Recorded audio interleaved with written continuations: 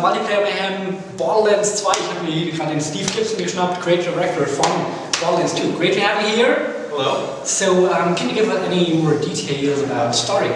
Story, yeah. So the story of Borderlands 2. This is five years later now, and the story of Borderlands. And the first one you guys remember, the story was the vault opened, right? Kind of, yeah. Kind of. so five years have passed, and uh, there's been fallout from the vault being opened and everything that's happened. Um, so what happened? What you are, what your part of the story is in Borderlands 2 is um, you are coming to the planet and you find that Handsome Jack and the Hyperion Corporation have now overtaken the planet and they're reaping the rewards of you know all this fallout from them. In addition, you discover early on in the game that the warrior is being awoken.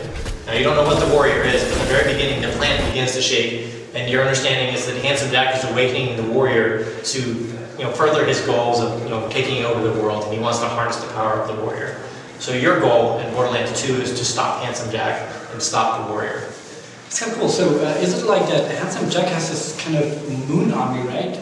Yeah. So yeah. we see that we saw this all those robots. They're like dropping from the moon. Mhm. So, you have like a base around here, Yeah, uh, Handsome Jack has a has a moon blade, moon base in the big shape of an H for Hyperion. okay. Yeah, and so he'll he shoots in reinforcements from the from the moon base and to, to stop you from what you're trying to do. If you have to draw a comparison, would you say it's like uh, that Borderlands is a bit like Diablo as a shooter? Um, Is- we hear that a lot, kind- sure. Is it kind of a Diablo style game? Um, the the loot system is the, the millions of possibilities of weapons is yeah, it can be, a lot of people compare it to Diablo, but the uh, the perspective and the story and the style are far different. Yeah, sure, sure. Yeah. Yeah, that sounds pretty cool. So, um, maybe you can, can talk about this a bit. So, it's like when you first started Borderlands, it was more kind of a realistic approach, right? Yeah, early, yeah, yeah, yeah. The art style and, and, and the tone was much different too. Yeah. And now you got a more cartoony kind of. How did you come up with this? How, how did the art style? change? Yeah. Oh, that was uh, that was from the the art team way back in 2008. Um, they they were feeling like that um, they just wanted the, something to feel more fresh about it. Is essentially what my understanding was. Not not having been on the art team, I can't tell you exactly. But what I can tell you is that what happened was, you know, towards the second half of Borderlands, um, the art art team proposed this idea, which was radical at the time. And um, what happened was when that art style when that art style was approved and 2K got on board with it, it really affected this tone and style of the entire game. That sense of humor started coming out more and more, and the, the way characters that that morbid, like awful world combined with this, you know, humor was it felt like a great combination, and it also enabled the things that felt like they didn't fit, they could fit more things into the world now. Like those guns that felt so kind of odd before, now those guns felt like they made sense in this world because of the style of that world. That's really interesting because we have just those different factories, right? So it's like um, you have more or less like uh, factories that are not so expensive and factories that are expensive and Yeah. factories that do weapons that are more like brand or Yeah. like uh, fire and stuff like that. Yeah. So how does this uh, feed into the world? Um, so if you guys, um, if you played the Borderlands DLCs, you probably actually started to experience that a little bit. You saw the Atlas Corporation and how they were involved in the DLC. You saw the very first DLC even uh, was Jakobs and Zombie Island. Yeah.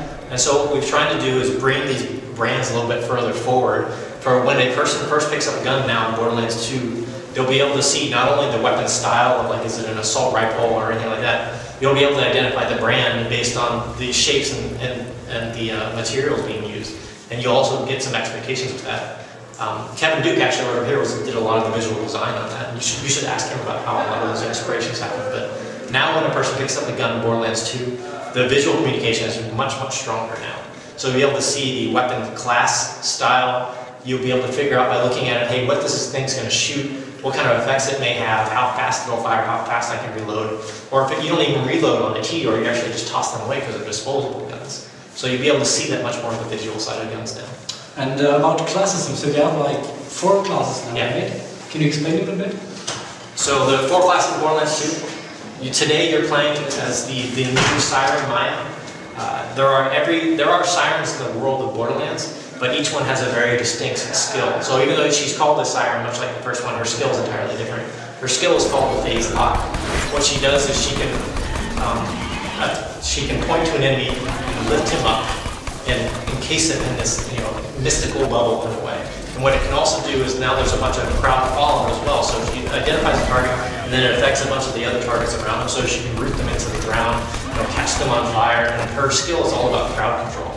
And she can also go down a healer path on her skill tree, where she can actually point to a friend who's gone down, who's got killed, and she can go res them. So the, the skills trees are much deeper and richer this time around because we want the role playing guys especially to really feel rewarded to, to be able to dig more into the skills. What I really like is this, uh, you have this dual wield system. Basically, you can uh, take two weapons, but you have a like kind of cool, kind of cooldown, right? Yeah. So you can just use it for some time. Yes. Weapons, but you can improve this with uh, also like perks. Yes. Kind of. Yeah. So yeah, the second class is the Gunzerker, uh, Salvador, right here actually. Yeah. And uh, yeah, his, his skill revolves around the, uh, what the role-playing guys call it, the aggro. So he can do a lot of drawing crowds and getting in the middle of and mixing up them, doing two weapons. And that's not just rifles, he can dual wield even rocket launchers, sniper rifles, whatever he wants to dual wield. And that skill also can be built so that he can you know, do a, like a vampirism of health, and when he damages people, he gets health back. All the skills, all the skill tree stuff for him revolves around mixing up and getting in tight and causing lots of damage or receiving lots of damage. So he's the aggro of the four classes. Going be going be a bit back and story. It's like um, now we have to save basically the, the heroes of the first one Borderlands, right? Um, the, uh, well, you're not saving Mordecai. He's he's free. Yeah, but you have to save, for example, like Bloodwing, which is like his yes, yeah, his, animal. yeah, his, his pet has been captured. Yeah. Um, and Roland actually was captured, as you guys, if you saw the game's demonstration, Yeah. actually is captured. The other two characters are also part of the story. Um, they're not all captured. Ah, okay. Yeah, so you run into them, and they're all going to have gone through different things over the five years that have passed by since the events of Borderlands. But yeah, you'll run into all of them, and you'll, you'll meet Lilith again, and then you'll meet with Brick again. So okay, I'll get to third class. Third class is uh, Commando. Okay. So Commando, his skill uh, is, can, is has a lot of similarities to the soldier to the role in the first one, where he does he deploys a point of attack, right? And that thing causes damage, and it's, it's, it's just a second piece of attack. What's different about the Commando this time around, though, is that his he can deploy a turret, but he can also deploy via longbow, so it can go across the map. So, for example, you have a, a gunzerker off doing something stupid, right, getting killed. You have a siren and you have a commando. You can have the siren from across the map remote res him, and then you have a commando fire off a longbow turret to give him support. So you can even do long range support for with that character class. And then the commando can even deploy multiple turrets as well. If he goes through a different skill tree, he can do a couple. Do you have any idea how much weapons you have in the game?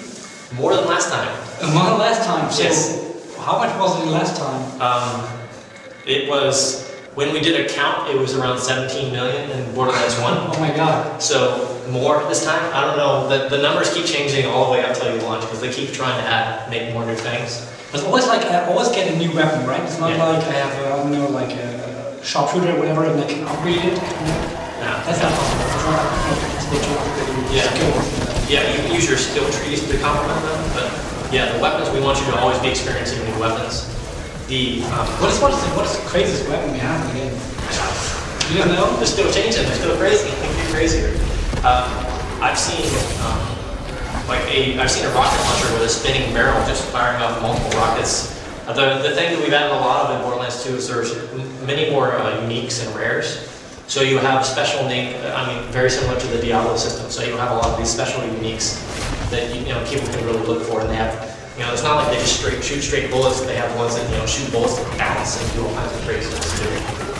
So the, the weapons are even more wild this time around. Yeah, but the rocket, rocket launcher is actually not so powerful, right? It was not in the first one. Yeah, the splash was no, weird. Also in Borderlands 2, I think it's like it took like took like two or three rockets to kill an enemy, But like you- big one. You got a weaker rocket launcher then. Ah, okay, okay. Because there's millions of them, so you just got, if you just look at the damage score on it, see. Uh, but there's also, yeah, the splash has changed a lot too. Because a lot oftentimes in Borderlands 1, people would complain like, shoot, next to a guy with a rocket launcher, you kind of probably should hurt him, so. Yeah. Can also like unlock uh, new special abilities. Like Maya has this kind of stasis field, whatever. Uh, Can I unlock this, or is this like like fixed before? Can you what? Like unlock new special features, new Yeah, special yeah, abilities. yeah. The, the, um, if you look through the skill tree, there's called game changers, and so her skill will always her skill will always revolve around crowd control. But what you do with that, you can do like you know mass healing or you know mass shock and fire. Like you can actually affect what's happening to them. You can cause them to get stuck into the ground and different effects like that. But it's her skill will always revolve around crowd control. So I think Borderlands was not really so much about story. Do you think that now it's more like more is it, more, more kind of a deep character driven story or is it? Um, but that's our hope is much much more so. The what we did was uh, in the first one, the mission system, you were kind of limited to just going to one point and then coming back. Right? There's a lot of backtracking over and over. Um, that's not really con- conducive to storytelling, though. Right? The stories don't really do this. Stories don't right, just do that. Right? So in Borderlands 2, the mission system has been replaced. Now you can actually, what you just did in there, where you went to you went to talk to Mordecai, he sent you down to the docks. You didn't go check back in when you got to the docks. You kept going now. So we can actually tell more of a narrative, and it fits better, and it feels better, and the communication's better. So you will meet a lot of uh, friends there, you know, that's like, like from Borderlands 1. Oh yeah, Marcus and Scooter, Claptrap, all those. Yeah, you'll run into all of them. Yeah. Cool. Then yeah, thanks a lot. Sure.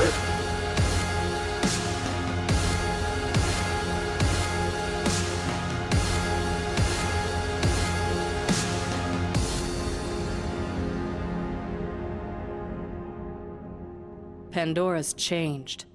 Are you ready?